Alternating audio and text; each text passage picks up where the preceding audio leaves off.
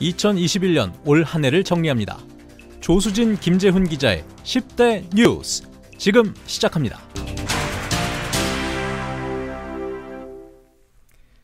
예. 어, 오늘 키워드 뉴스는 조금 특별하게 꾸며봤습니다. 제주투데이의 간판 조수진, 김재훈 기자 두 분께서 함께 오늘 자리에 오셨습니다. 두 분 안녕하세요. 네, 안녕하세요. 예. 간판 맞잖아요. 아, 쑥스러워. 네. 두 분이 함께 앉아 있으니까 오늘은 네. 정말 느낌이 남다른 것 같습니다. 네. 네네.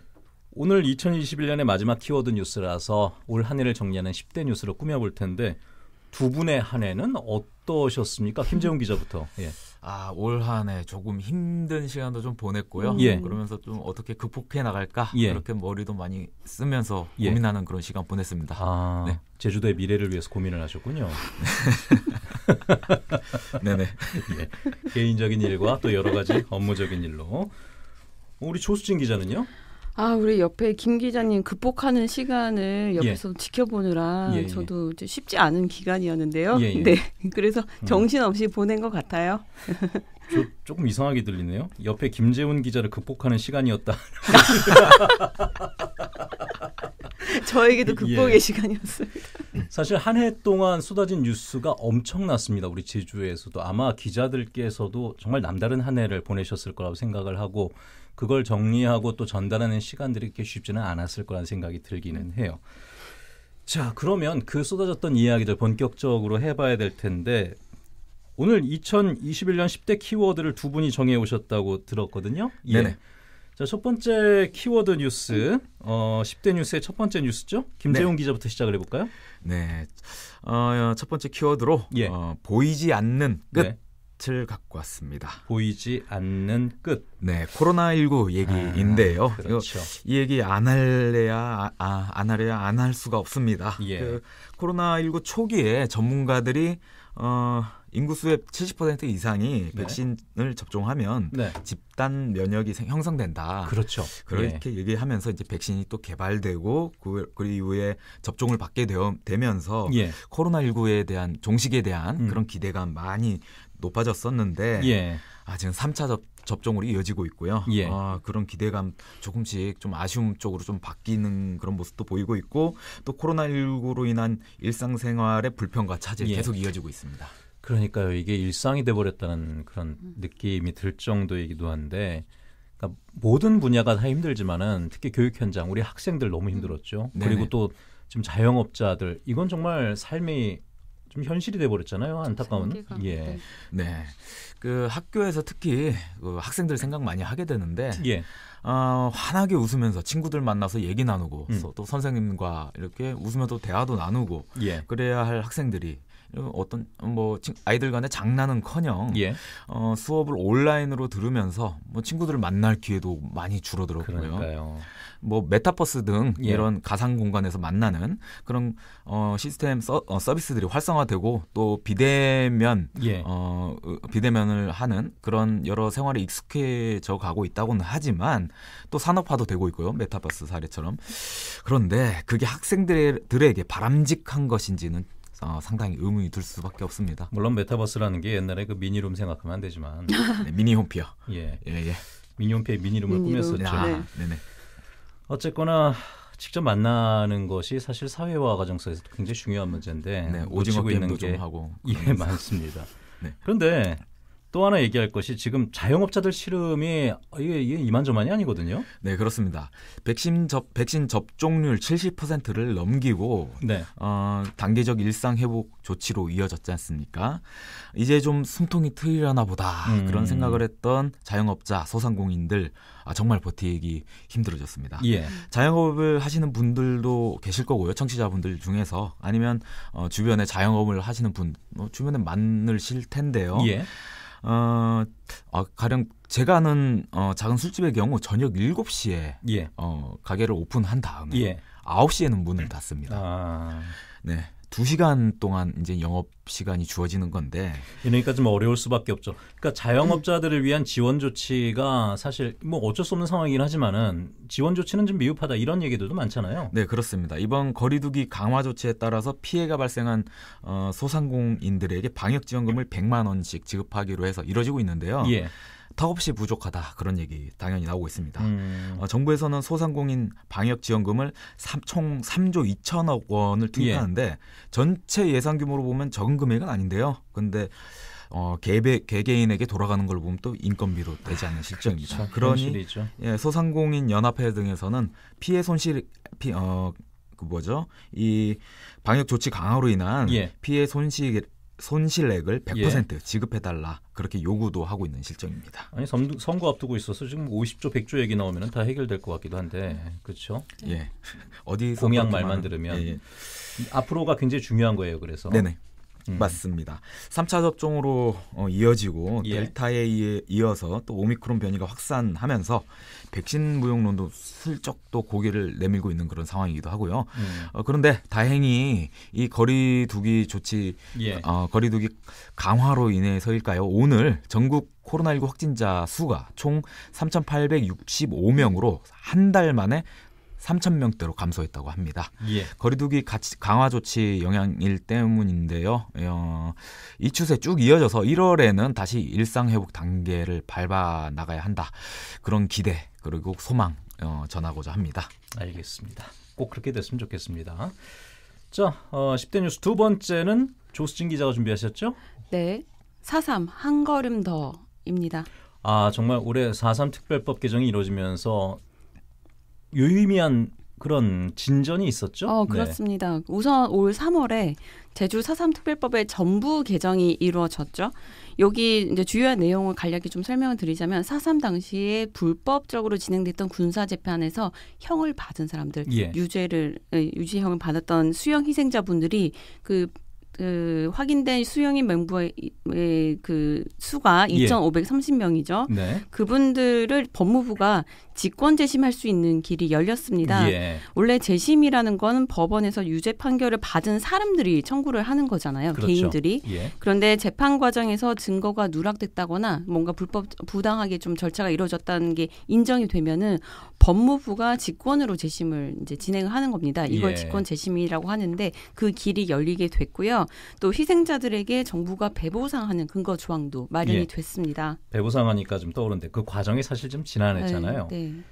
어, 그 과정 속에서 배부상 대신 위자료 등의 특별한 지원이라는 표현이 담기면서 논란이 되기도 했습니다. 많이 논란이 됐었죠. 위자료라고 우리가 흔히 생각하는 위자료라고 하면은 예. 그 정식적 피해에 대한 그냥 보상이라고만 생각을 하니까 이게 정부가 엄연히 정부가 했던 잘못에 대해서 책임을 진다는 의미가 좀 퇴색하고 예. 옅어지잖아요. 이런 부분 때문에 유족계나 시민사회 단체에서 이제 네, 반발을 했었고요. 음, 이 표현은 지난 9일 국회를 통과했던 특별법 개정안에서 보상으로 바뀌었 습니다. 예. 배상이 되지 못하는 데 대해서 좀 아쉬움이 있긴 했지만 예, 이런 부분 좀 바뀌게 됐고요.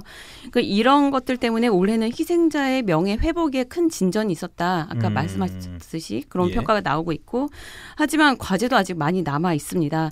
지난주에 토론회가 열리기도 했는데 키워드 뉴스에서도 제가 몇 차례 다뤘었습니다. 호적 그러니까 가족관계 등록부 상에 그 잘못된 관계들 정정하는 것 관련해서 다뤘었는데요. 예. 사참 당시에 출생 신고나 혼인 신고 또 사망 신고를 제대로 하지 못해서 지금까지 가족 관계가 제대로 되어 있지 않은 부분들 그런 희생자와 유족들이 굉장히 많거든요. 네. 전에 조수진 기자가 키워드 뉴스에서 한번 짚어줬던 게 저 기억이 네, 나는데 네. 안타까운 얘기가 음. 평생 아버지의 호적한이 빈칸이었다고 했던 얘기 제 네네. 기억이 나네요. 네, 그런 증언이 아주 많을 것으로 보이는데 음. 현행 민법에 따르면 가족 관계가 잘못되어 있을 경우에는 또 개개인이 법원에서 일일이 판결을 받아야 돼요. 예. 거기에 대한 좀 절차나 비용도 만만치 않고요. 그 요거 가족 관계를 정정하려면은 돌아가신 분과 내가 가족이라는 걸 증명을 해야 되잖아요. 예. 그 요게 가장 확실한 방법이 묘를 파내서 시체 그 시신에서 DNA를 확보하는 게 거의 유일한 방법이라고 하거든요. 예, 예. 이게 쉽지 않은 일이지 않습니까? 그렇죠. 그 지난주 열렸던 실태조사 보고에서 그 가장 기억에 남는 한마디가 있었는데요. 예. 가족 관계의 정정은 개인의 일이 아니라 국가 일이다. 그러니까 음. 사삼 때 어, 국가 일이라고 강조를 하더라고요. 그 사삼은 남한 단독 정부가 수립되기 이전부터 시작이 됐잖아요. 그렇죠. 48년 8월 예. 15일에 수립이 됐으니까 47년 3월 1일부터니까요. 그때는 또 행정 체계가 지금처럼 갖춰져 있지도 않았습니다. 예. 근데 70여 년의 시간이 흐르는 동안 그동안 말도 제대로 못했던 음. 부분들이 아버지의 호적칸이 비어 있는 것조차도 네네 쉽게 얘기하지 못했죠. 4.3과 음. 관련됐다 하면은 일단은 네. 사회 분위기 자체가 좀 잘못된 그러니까 이른바 그 빨갱이로 몰릴 아, 수 있는 네. 그런 부분 때문이잖아요. 네네 정말 아픈 단어인데요. 그런 이유들 때문에 가족 관계를 제대로 이제 바꾸지 제대로 잡지 못했던 예. 이런 부분에 대해서 정부가 적극적으로 나서서 이분들을 구제해야 하는 거거든요. 음, 이런 이렇게 정정을 하기 하기 위해서 특례 조항이 예. 최근 개정안에 포함이 됐다가 예. 법원 행정처에서 부정적인 의견을 내는 바람에 삭제가 모두 됐습니다. 그렇더라고요. 그 내년에 정부가 관련해서 용역을 진행한다고 하니까 예. 거기에 대해서 좀 기대 를 가져보고 싶은데요. 꼭 잃어버린 가족을 찾을 수 있는 길이 음. 내년 아, 다음 개정에서 꼭 이루어지길 바라겠습니다. 예. 그이 밖에 가해 주체를 또 명확히 밝히고 미국의 책임을 규명하고 예. 또 사삼의 또 바른 이름을 찾는 일도 음. 과제로 남아 있고 남아 있습니다. 예. 그 할머니 한 분께서 얘기하셨던 게 기억이 나요. 그 아버지 죽기 전에 내 아버지를 아버지라고 한번 제대로 좀 불러봤으면 음, 좋겠다라는 네. 말. 근데 그런 사례들이 우리 제주도 내 많이 있는데 법원 행정처에서 그 부분을 좀 받아들이지 않은 것이 네. 물론 이제 법적인 현실적인 부분도 있겠습니다만은 좀 안타까운 부분이고요. 네. 용역까지 한다고 하니까 제대로 빨리 좀 진행이 네네. 됐으면 좋겠습니다. 네. 시간이 많지가 않습니다. 네. 자, 어, 10대 뉴스 세 번째는 우리 또 김재훈 기자 준비하셨죠? 네, 다음 정권의 패스입니다. 예. 그 다음 다음 정권의 패스요? 네, 뭘? 예, 제2공항 관련해서. 아, 예. 그 제주 최대 개발 논란 사안 제2공항 얘기 뭐 예. 10대 뉴스로 안 꼽을 수 없겠는데요. 어, 6년 넘는 그 제주 지역의 갈등 사안입니다. 예. 지난 7월에 환경부가 국토 어, 국토교통부에 제주 제2공항 전략 환경 영향 평가서 재보완서를 최종 반려 결정했고요. 예. 그러면서 국토부가 사업을 철회할 가능성 점쳐졌었습니다. 예. 아, 그 전에 이제 도민의 결정을 따르겠다. 예, 예. 그렇게 국토부 관계자가 또 말을 해온 바도 있었거든요. 음, 그 근데 반- 그, 예, 네. 그 얘기를 하신 거는 사실 여론조사를 해봤는데 반대가 조금 더 우세하게 나온 것 때문에 그런 거죠. 네네. 그래서 어, 제2공항에 반대하는 시민 예. 진영에서는 이 반대가 우세하게 나왔으니 여론상 그래서 도민의 결정을 따르다 따르겠다 예, 예. 한 말을 지켜라 예. 그렇게 얘기도 했고 그런 상황에서 또 이렇게 어, 환경부가 반려 예. 결정을 내리면서 이 사업 철회 가능성 굉장히 높게 점쳐졌었습니다. 예. 그런데 어, 이 반려 사유를 보면요. 예. 전략 환경 영향 평가서 반려 사유를 보면 철새 도래지 보전 계획과 항공기 조류 충돌 예방 계획이 상충하는데 예, 예. 이걸 어떻게 보완할 수 있겠느냐? 어, 아, 그게 이제 관건이었습니다. 철새 도래지를 보전하려면 예. 항공기 조류 충돌 가능성이 높아지고 예. 그 반대로 항공기 조류 충돌을 예방하려면 예. 철새 도래지에 부정적인 영향을 미치게 될 건데 예. 이걸 어떻게 보완할 것이냐 그게 음. 관건이었습니다.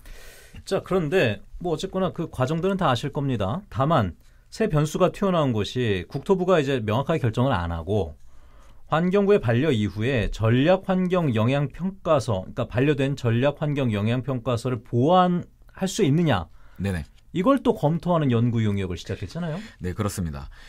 그 전문가들이라고 예. 했는데 국토부 관계자들 다 전문가들이거든. 이거 충분히 판단할 수 있을 것이다. 예, 그렇게 예. 볼수 있는데 예, 어, 환경부가 반려 결정한 사유들 예. 어떻게 해소할 것이냐 예, 그것을 별도의 용역을 맡겨서 연구한다는 건데요. 어, 이르면 내년 7월쯤 예. 어, 결과가 나올 아, 예정입니다. 그래서 패스구나 다음 정권에. 네, 아, 다음 정권으로 이제 넘어가게 예. 되는 건데, 네 그렇습니다. 그 국토부가 충분히 스스로 판단할 수 있는 사안이다 그렇게 음. 얘기를 하는데 이걸 용역에 맡겼습니다. 예, 이런 사례 제가 아는 선에서는 없었, 없었습니다. 예, 아마 최초일 것으로 보이는데요. 그러다 보니 사업을 질질 끌면서 예. 내년 차기 정권에 넘기려는 꼼수 아니냐 그런 비판 받고 있습니다. 예, 내년 예산에 제2공항 관련 사업비를 편성해 놓기도 했고요. 예, 어, 이렇게 환경부에서 반려 결정을 한 상황인데 반려 사유를 해소할 수 있는지 확인조차 안 되고 또 용역 결과가 나오기도 전에 예산을 미리 편성해 놓는다. 음, 이거 뭔가 단추를 채우는 순서가 맞지 않는 것 아니냐 그런 예. 지적도 제기됩니다. 알겠습니다. 결국 차기 정권으로 이 사업 자체가 미뤄진 셈인데 대선 후보들은 지금 뭐 솔직히 얘기해서 심상정 후보 말고는 명확한 입장을 내는 후보는 없는 것 같긴 합니다. 네, 맞습니다. 진보당 예. 음, 김재원 후보. 아 김재단 네네. 예 알겠습니다. 진보당에서 그러니까 진보 진영에서는 조금 명확하게 입장을 내는데 네. 음, 거대 양당에서는 제대로 된 입장을 아직 안 내고 네. 있죠. 알겠습니다. 자 네 번째 10대 뉴스는 조수진 기자가 준비했죠. 네. 네. 조수진의 꿈 입니다. 아 조수진 기자가 조수진의 꿈을 10대 뉴스로 꼽았습니까? 이거 뭐 네. 어떤 내용입니까? 쉽지 않았는데요. 예. 네. 좀 무리 한번 해봤습니다. 네. 이거 제 개인적으로도 정말 한숨이 마운, 많이 나왔던 뉴스인데요. 예. 제가 지금 제주로 이주한 지 6년 차가 됐습니다. 예. 그 서울에서 이제 여기로 오게 됐는데 예. 서울에 있을 때는 감히 가지지 못했던 꿈이었는데 예. 여기서 언젠가 내 집을 제주에서 한 칸 마련할 수 있지 않을까. 아, 모든 사람들의 꿈이기도 하죠. 예. 네, 저는 저는 그럴 수 있지 않을까를 또 기대를 했었는데 예. 연일 지금 천정부지로 치솟는 아파트값. 아. 이게 수도권을 중심으로 한 이제 부동산 규제 지역이 원래 수도권 중심 지금 묶이면서 예. 투자 자금이 비규제 지역인 제주로 이제 그 자금이 몰리다 보니까 막 예. 오르기 시작했다는 분석입니다. 한국부동산원의 자료에 따르면 예. 작년과 비교해서 아파트 값이 20%가 올랐다고 해요. 네, 2억짜리 그 아파트면 2억 4천이 되는 거죠. 예. 그 작년 아파트값 상승률이 마이너스였던 거하고 비교하면 예. 엄청나게 폭등을 한 겁니다. 참. 인천 다음으로는 전국에서 가장 높은 상승률이라고 하네요. 조수진의 꿈을 꺾어버린 이 아파트 상승 폭 10억 원이 넘는 아파트도 돈에 있다면서요? 네, 진짜 억소리밖에 안 나는데요. 지금 전세값도 덩달아 오르고 있습니다. 예. 전세 가격 누적 상승률은 10%로 전 지금 전국 최고 음. 수준이라고 하고요. 저같이 집 없는 서비는 진짜 예. 눈물만 납니다. 지금 코로나 상황 때문에 경, 건설 경기도 좀 침체가 되어 있잖아요. 예. 그래서 공급은 좀 제한적일 거고 수요는 계속해서 있을 거니까 앞으로 내 집 마련, 조수진의 꿈은 더욱 멀어질 것만 같습니다. 예. 대통령이 바뀌면 잡힐 수 있을까요? 참. 옆에 김재훈 기자가 웃고 있습니다. 조수진의 불행은 김재훈의 웃음이군요. 알겠습니다. 아 이거 참 그 어려운 문제인데 음, 뭐 경제 논리에 비추면은 글쎄 이걸 뭐 어떻게 해결할 수 있느냐 없느냐부터 시작해서 좀 말들이 참 많은데 해결이 불가능하다는 말도 나오고 있고 다만 그러니까 좀 안정적인 삶을 위해서는 꼭 안정돼야 되는 것이 집이긴 합니다. 그 문제만큼은 꼭 해결해 줄 수 있는 사람이 나왔으면 좋겠는데 나오면은 뭐 5천만 표 다 가져갈 것 같긴 아, 한데 그럼요. 네. 알겠습니다.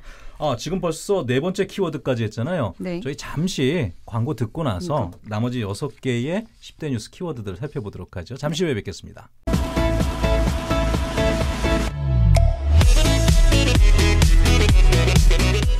예, 오늘 키워드 뉴스는 특별히 올 한 해를 정리하는 시간으로 갖고 있습니다. 김재훈, 조수진 기자, 조수진, 김재훈 기자가 10대 뉴스를 꼽아주셨는데 잠시 광고가 나가는 동안 스튜디오는 눈물바다였습니다. 조수진 기자의 아파트 문제 때문에. 근데 이게 참 글쎄요.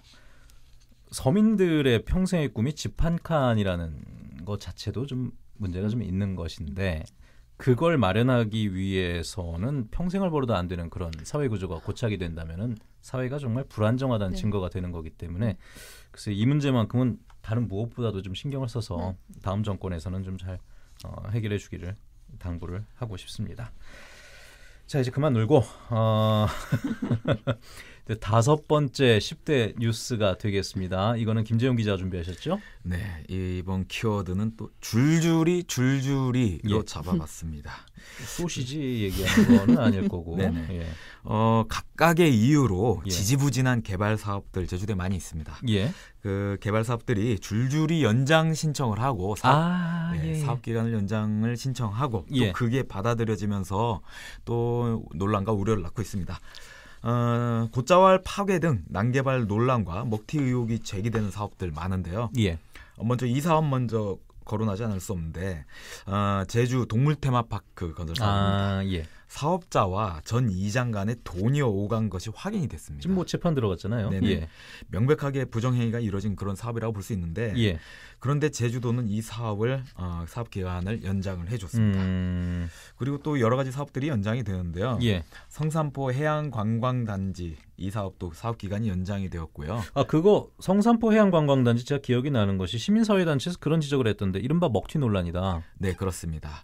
어, 40억 원의 시세 차익을 챙겼다고 합니다. 어, 그 성- 어, 제주 주민자치연대가 그렇게 어, 지적을 했는데요. 예. 어, 성산포 해양관광단지 사업의 기간 연장은 상식을 벗어난 결정이고 투자진흥지구에서 해제해야 한다. 그렇게 목소리로 내, 어, 낸바 있습니다. 예. 철저한 검증 우리 많은 곳에서 요구를 하는데 개발 사업에는 좀처럼 이루어지지 않는 모습입니다. 음. 그 마을 어, 마을이나 예. 집, 집에 헛간 하나 지을 때는 굉장히 이제 음. 예민하게 이걸 착 아 그렇죠. 제재가 많죠. 체크하는데 예.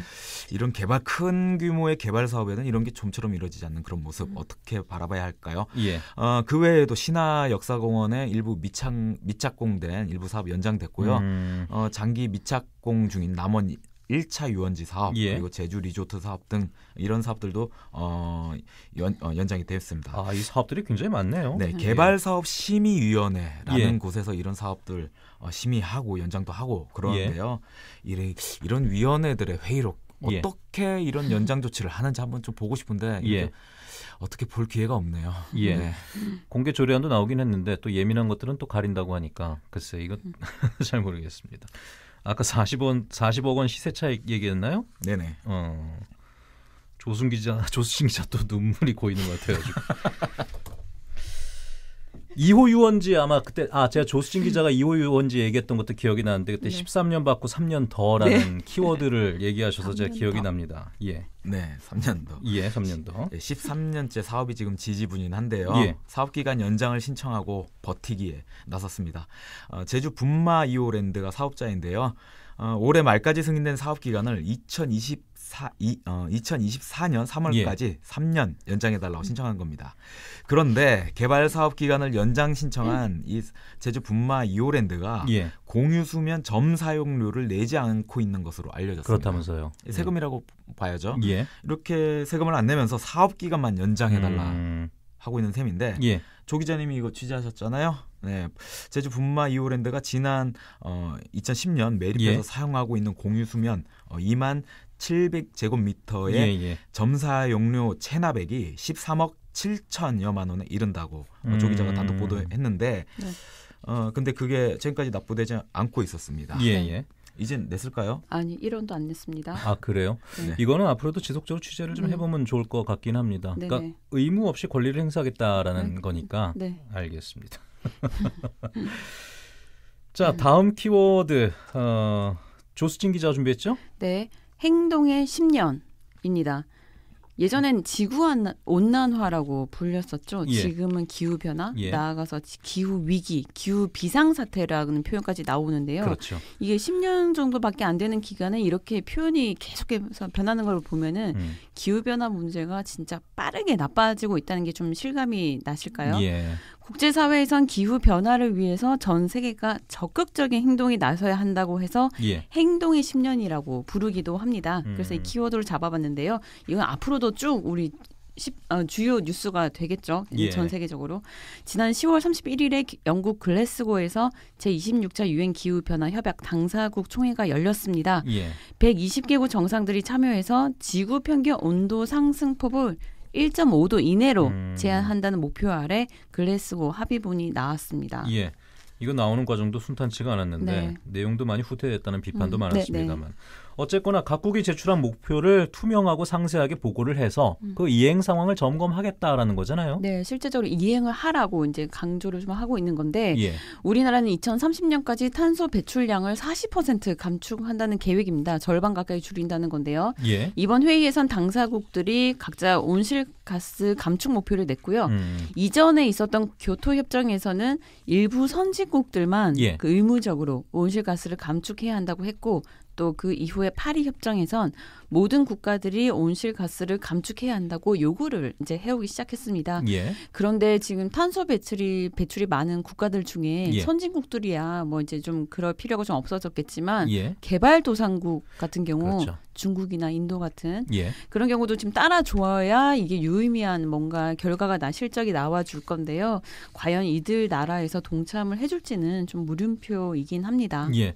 선진국들은 이미 많이 배출해 놓고 지금 돈이 그러니까. 많아졌으니까 뭐 여러 가지 설비도 하고 있지만 우리는 안 네. 되는 거 아니냐. 네네. 그러니까 선진국들이 돈을 더 많이 내야 되는 거 아니냐가 네네. 어, 이들의 주장인 것이고 네. 그렇죠. 형평의 문제가 있죠. 예. 음. 뭐 이해가 안 되는 부분들은 아닌데 음, 네. 어쨌거나 서로 돈 싸움이 돼가고 있어서 음. 아참 이번 글래스고 회의에 청소년들 각국에서 많이 왔다면서요? 네, 이, 이제 이 청소년들이 예. 미래 세대가 아니라 예. 지금 당장 눈앞에 있는 기후 문제의 주역이라는 이제 목소리가 이제 높아지고 있죠. 대표적인 청소년 활, 환경 활동가 예. 딱 떠오르실 텐데요. 이제 청소년이란 수식어를 떼야 할 수도 있겠습니다. 스웨덴의 그레타 툰베리는 예. 지난 2019년에 타임지가 선정한 올해 인물로 예. 지정이 됐는데 최연소였죠.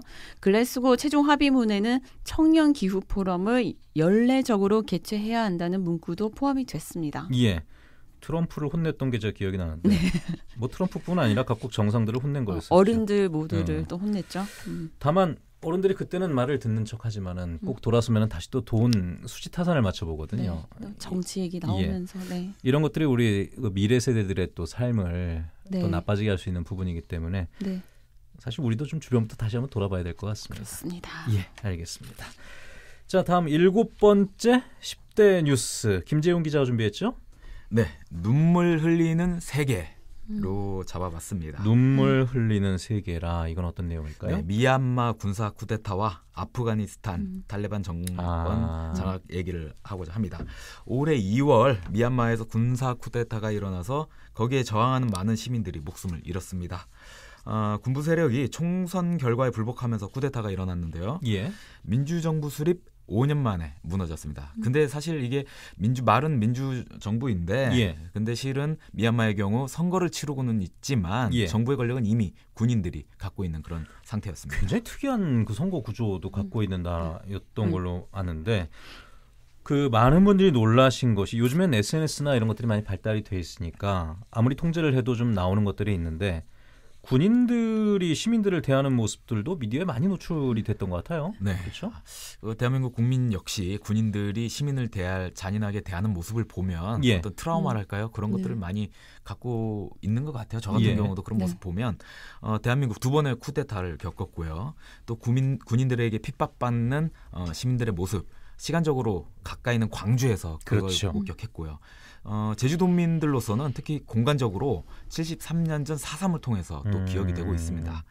아, 미얀마 시민들이 민주진영 민주주의 진영에 도움을 예. 호소하고 있고요. 예. 제주 지역 어, 시민들 그리고 예술가들도 이, 이 운동에 동, 동참해 달라 그렇게 예. 시민들께 어, 얘기를 전하고 있습니다. 참 도울 방법을 좀 알려 달라는 분들도 많았습니다. 사실 어떻게 도와야 될지를 모르니까 지금 뭐 국제 사회에서도 목소리 나오는데 행동에 옮기는 또 부분은 없어서 네네.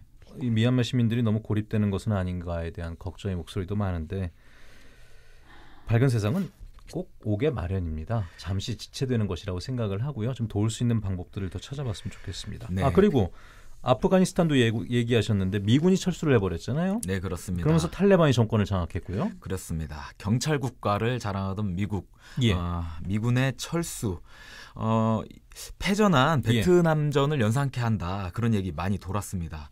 어, 이 미디어를 통해서 보다 보면 예. 철수라기보다는 이거 탈출에 가깝다 그렇게 느껴지는 장면들도 꽤 많이 보였거든요. 음, 가령 가장 대표적인 장면이 헬기를 타고서 예. 어, 이, 어, 철수를 하는 장면이었는데 이때 베트남전에서도 마찬가지 장면이 있었습니다. 이 같은 바이든의, 바이든의 결정 예. 어, 중동과 또 국제사회에 어떻게 작용할지 지켜봐야 할 부분인데요. 정말 어, 격변하게 될지 예. 또 이란과의 어떤 핵 협상 등이 또 어떻게 전개될지 음. 그런 부분들도 중동의 정세로서 한번 눈여겨봐야 할 것 같고요. 또 이 부분도 주목해봐야겠습니다. 탈레반이 아프가니스탄을 장악하면서 예. 어, 여성권이 악화될 것이다 그런 우려를 할 만한 보도들도 많이 나오고 있습니다. 어, 어제는 또 여성이 예. 약 70km 이상 이동 시에는 예. 어, 남성 없이는 차를 타지 못하도록 하기도 그렇죠. 했다. 그런 뉴스까지 나왔습니다. 2021년에 또 이런 뉴스를 듣고 있어야 되는 네. 부분들도 안타까운데 참 국제사회에도 아까 그 눈물 없이는 참 보기 힘든 그 이야기들이라고 말씀도 하셨습니다만은 안타까운 모습입니다. 자 다음 여덟 번째 10대 뉴스 조수진 기자가 준비하셨죠? 네, 죽음조차 유죄입니다. 이거 제가 어, 키워드 중에서 가장 네. 강한 인상으로 들었던 말이기도 합니다. 네네 예. 지난 키워드 뉴스 때 했던 또 키워드인데 반응이 너무 좋아서 제한번 반응이요? 더 네. 들고 왔습니다. 예. 그 바로 대한민국의 전직 대통령이었던 전두환 씨와 노태우 씨 네. 공교롭게 이 둘 모두 올해 세상 10월과 11월에 예, 떠나면서 가장 뜨거웠던 뉴스 중에 하나였죠. 둘 모두 12.12 사태 아까 군사 쿠데타 말씀도 하셨는데 예. 그러는 1979년 12월 12일 군, 군사 쿠데타의 주역이죠. 특히 전두환 씨는 5.17 쿠데타를 일으키면서 예. 광주 시민들이 격렬하게 저항하니까 그 시민들 수천 명을 학살한 장본인이기도 합니다. 본인은 아니라고 하고. 끝까지 아니라고 했죠. 그래 지난 1995년 5.18 특별법이 만들어지면서 예. 진행 진상 규명이 진행이 됐고 이 과정에서 전두환 씨와 노태우 씨 모두 구속이 됐습니다. 법원이 이 둘에게 반란죄와 내란죄, 뇌물수수죄 등을 적용해서 예. 전두환 씨는 무기징역, 노태우 씨는 징역 17년을 선고를 했었죠. 예. 그런데 뭐 얼마 안 돼서 네. 대통령 특별 사면으로 풀려났잖아요. 네, 97년에 다 풀려, 풀려났고요. 예. 노태우 씨 같은 경우에는 본인 입으로는 사과하지 않았지만 예. 그 아들이 노지현 씨 등 그 가족들이 지난 2019년부터 강주를 이제 수차례 방문하면서 그 5.18 묘지도 참배하고 예. 사죄하는 표- 모습을 좀 보였습니다. 대리 사과라는 비판도 있긴 했습니다만 전두환 씨 경우와 비교하면 또 약간 좀 다릅니다. 예. 전 씨는 정말 갈 때까지 사죄는커녕 자신의 잘못, 잘못 을 한 번도 인정한 적이 없죠. 음, 가해자가 사과를 하고 또 범죄에 대해 제대로 된 처벌을 받는 그 목적은 당연히 그 이제 그 희생자 아 희생자로 표현하면 안 되죠 피해자의 명예 예. 회복에서도 중요한 부분이겠지만 또 다른 큰 목적은 다시는 그런 잘못된 역사가 반복해선 안 되기 때문입니다. 그렇죠. 네. 예. 그 지금 우리나라에선 4.3도 그렇고 과거사와 관련해서 진상 규명을 하는 여러 작업들이 지금 진행 중인데요. 예. 가해 주체를 명확히 밝히는 일은 소홀히 하면 정말 안 되겠습니다. 그 말이 참 맞는 것 같습니다. 사실 친일 세력도 제대로 청산하죠. 청산을 네. 못한 것이 지금까지 이렇게 이어져오는 이유라는 그런 분석들도 분명히 네. 있으니까. 네네. 음, 아, 그 노태우 씨의 경우에는 국가장으로 진행을 했잖아요. 네, 그 현행 국가장법에 따르면 예. 전형직 대통령이라거나 대통령 당선인의 경우는 사망하고 하면은 국가장을 할 수 있다고 규정을 하고 있기 때문인데요. 중대 범죄를 범죄를 저질렀냐 안 저질렀냐 요 여부는 이 조항에서 명시하고 있지 않습니다. 예. 딱히 뭐 안 해도 되지만 또 해도 된다 이런 건데 애매하군요. 네, 아. 그래서 노태우 씨 국가장이 가능했고요. 예. 다만 전두환 씨는 사회적 여론이 워낙 안 좋았잖아요. 예. 그래서 그냥 가족장으로 진행이 됐고 참고로 둘 모두 현충원에 묻히지는 못했습니다. 이건 이제 법에 명시가 돼 있어요. 국가유공자법에 따르면 내란죄 등을 저지른 자는 안장 대상에서 제외하고 있기 때문입니다. 예. 그래서 이 두 전직 대통령의 죽음으로 우리 사회가 역사의 범죄자를 어떻게 바라봐야 하는지, 이들을 어떻게 대해야 하는지를 좀 생각해 볼 수 있는 계기가 된 것 같아요. 그래서 준비를 했습니다. 예. 국가장이 가능했던 이유도 노태우 씨 같은 경우 이제 사회적으로 그런 어느 정도 용인되는 분위기가 있었던 네. 그런 것도 있었던 네. 것이고 전두환 씨는 아예 분위기 자체가 안 됐던 것이고 네네. 사과 자체 전혀 안 했으니까. 네. 본인이 했던 말인가요? 부인이 했던 말인가요? 민주주의의 아버지라고 사람들이 인식을 한다면 당연히 국가장으로 진행이 됐을 텐데 부인이 했던 걸로 예, 기억합니다. 네. 어쨌거나. 가족이 참. 국민들은 그렇게 생각은 안 하는데 사과받지 못한 광주 시민들의 마음은 정말 아픈 부분입니다. 알겠습니다. 자, 다음 키워드 아홉 번째인가요? 김재훈 기자요. 선택 2 2202입니다. 예. 220은 2002, 202년인데요. 아, 2022입니다. 네. 예. 제가 수에 약해서요. 예, 원더키디도 아니니까 뭐 네, 네. 괜찮습니다. 예. 예 어쨌거나 예, 대통령 선거 얘기하나 보네요. 네, 계속 대통령 얘기가 이어집니다. 예. 그 대통령 선거 얘기 하지 않을 수 없겠는데요. 선거 굉장히 과열되는 그런 분위기입니다. 각종 의혹들이 연이어 쏟아지고 있습니다. 음. 그 제주도의 경우 특히 이 대통령 선거 진작부터 관심사였습니다. 예. 예 원희룡 전 지사가 언제 사퇴하느냐. 예. 거기 계속 관심이 가고 또 계속 얘기가 되다가 지난 8월에 사퇴를 하면서 예. 지금 현재 도지사 도지사 자리가 공석이죠. 음, 지금 어 지금 권한 대행 체제로 이루어지고 있는데요. 예. 원전지사의 중도 사태로 인해서 내년에 제주도지사를 뽑을 때까지 1년 가까이 도지사가 없는 시간을 음. 보내게 되었습니다. 제주의 상황은 그렇습니다. 뭐 그 과정들이야 뭐 다들 아실 테니까. 자, 대통령 선거 얘기잖아요. 선거라는 것이 검증의 연속이기도 한데 계속 지금 네거티브 전으로 치닫고 있어서 뭐 여기에 대한 지적 많이 나오죠? 네, 제가 어, 기자니까 예. 기사를 써서 이렇게 어, 밥벌이를 하고 있는데 예. 가끔은 뉴스를 보고 싶지 않다. 예, 뉴스, 예. 보- 뉴스 없는 세상에서 살고 싶다. 뭐 다들 마찬가지일 겁니다. 그런 생각이 예. 들고 있습니다. 이런 부분 고민해 볼, 볼 필요가 있는 부분입니다. 대선 후보들에 대한 가족 위주로 지금 검증 이루어지고 있는데요. 예. 양쪽 가족들에 대한 많은 언론 보도와 문제 제기 쏟아지고 있습니다. 예. 그런데 물론 검증 당연히 필요하고 그런 부, 어, 명확하게 체크하고 넘어가야 하는데 예. 그런데 이런 부분 이 한번 생각해 보면 좋을 것 같습니다. 오늘은 이 두 후보가 어떤 정책 내놓았나? 예, 예. 네, 궁금해요. 네, 어떤 정책 내놓았지? 그런 걸 생각해 보면 예. 기억이 나는 것도 잘 없고요. 예. 그런 때 관심도 잘 모아지지 않고. 아, 그러니까 그런 얘기를 하라고 토론회를 네. 만드는 건데 지금 수많은 정치 시사 프로그램들이 방송에 보면 나오긴 하는데 정작 두 사람이 토론하는 걸안 보니까 네. 양당의 유력 대선 후보들 얘기하는 겁니다. 네네. 안 보여요? 그렇죠? 네 그렇습니다. 유권자 입장에서 후보의 어, 후보의 TV 토론회나 여러 예. 가지 다양한 방식의 토론회 어, 적은 것보다는 예. 많은 쪽이 좋다고 볼 수 있습니다. 예. 어떤 정책들을 서로 반박하고 그러면서 어떤 구멍이 있고 또 어떤 정책이 더 좋은지 예. 그러면서 어 그런 어 선택에 어, 확신을 갖고 예. 임할 수 있을 텐데요. 물론 질적인 토론이 이뤄 어, 전제가 되어야 합니다. 예. 네거티브로 일관하는 토론의 경우는 좀 어, 지켜보기 어렵고요. 예. 어, 현재 이재명 후보는 토론회를 법정 토론회 수보다 예. 예. 더 많이 열자 그렇게 이제 제시를 하고 있는데 윤석열 후보는 여기에 대해서 이제 조금 몸을 움츠리는 모습 보이고 예. 있습니다. 그게 그렇게 보여지는 것이고 뭐 조건을 만족하면은 뭐 토론할 수 있다는 얘기도 하긴 하는 것 같습니다만은 알겠습니다. 진짜 토론회가 보고 싶긴 합니다. 자, 오늘 마지막 키워드 네, 보호받지 못한 신변입니다. 올여름 제주에서 안타까운 사건이 있었죠. 제주 지역 한 주택에서 40대 남성이 전 동거인의 아들을 무참히 살해한 일이었습니다. 예. 더욱 안타깝게 한 것은 죽은 아이의 어머니가 해당 남성으로부터 신변의 위협을 느껴서 이전에 경찰에 신변 보호를 요청했다는 사실이 알려지면서부터인데요. 당시 경찰은 그 남성에게 접근 금지와 연락 금지 조치를 취했고 또 그 가족들 에게 신변 보호 조치를 하기로 결정을 하긴 했는데 예. 하지만 현관문 앞에 폐쇄회로 TV를 달아놓고 주변 순찰을 좀 더 다니는 게 전부였습니다. 예. 그 스마트워치 요즘 네. 말 많이 나왔었는데 이것도 네. 제공되지 않아서 논란이 일었었죠. 네, 당시 경찰은 그 스마트워치 재고가 부족해서 지급하지 못했다고 이제 해명했는데요. 사건이 있고 나서야 어머니에게 제공이 됐다고 음. 합니다. 이 사건 때문에 신변 보호 조치가 구멍이 뚫렸다, 계산해야 해야 한다는 목소리가 높았고요. 하지만 이후에도 다른 지역에서 신변 보호 대상자가 범죄의 피해자가 되는 사건들이 잇따라 발생하면서 예. 신변 보호 제도를 전면적으로 재검토해야 한다는 여론이 높습니다. 예. 자, 오늘 10대 뉴스 두 분이 뽑아주신 뉴스들 쭉 짚어봤는데 그 기쁜 뉴스들이 별로 없습니다. 그렇죠. 이게 사실 우리. 사회의 현실이기도 했었고 제주에서 국내 세 개까지 쭉 짚어봤는데요. 제가 매년 아마 그 연말이 되면 이 얘기를 하는 것 같습니다. 내년 이 시간, 내년 이 자리에서는 좀 더 기쁜 뉴스들로 네. 10대 뉴스를 채웠으면 좋겠다. 그만큼 세상이 더 좀 좋아졌으면 좋겠다라는 그런 희망 가지면서 오늘 두 분과의 시간은 마무리하도록 하겠습니다. 오늘 10대 뉴스 조수진, 김재훈 기자, 김재훈, 조수진 기자 준비를 해주셨습니다. 우린 또 내년에 만나 뵙도록 하죠. 고맙습니다. 감사합니다. 감사합니다.